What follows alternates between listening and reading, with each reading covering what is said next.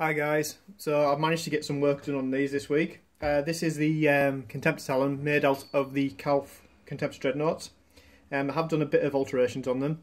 Um, altered the legs slightly, altered the posing on the arm. This one has actually had a, a head swap for a spare Contemptor head that I had sitting around. Um, I did blast these up a bit with the uh, the airbrush before I painted them as well. Put a bit of silver on the um, the torso and the arms just to kind of break it up from the standard of my um, other Contemptor Dreadnoughts. So as you can see, I went for a similar scheme, um, apart from having the, the silver on the, the body. Um, this is the first Contemptor out of the Talon. Went for a big transfer over the arm. Um, you'll have seen these in the um, adding transfers video that I did. Um, legs, I've just gone. The legs are the, probably the worst part of the Calth dreadnoughts. There's not much way you can pause them, um, apart from as I found chopping in between the joints there. If you can see, yeah, chopping between those bits, and it gives you a little bit of posing you can do with them. So that's the first one. Second one, I went for a slightly different pause, more of a leaning forward shooting kind of pause. So uh, there we go, I'll give that a quick once round so you can see what I've done with this. It is a, a really quick scheme just to get them painted up. They have come out quite nice, I do like them.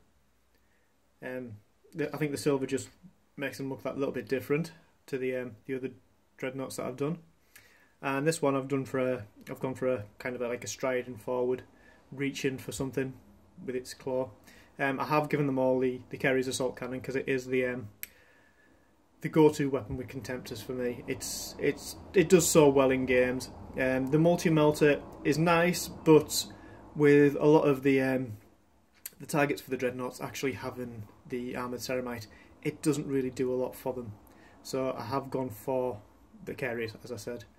Uh, so yeah, this one striding forward pose, as I said, chopped between the legs, chopped in the torsos, um, just to give it like slightly different pose.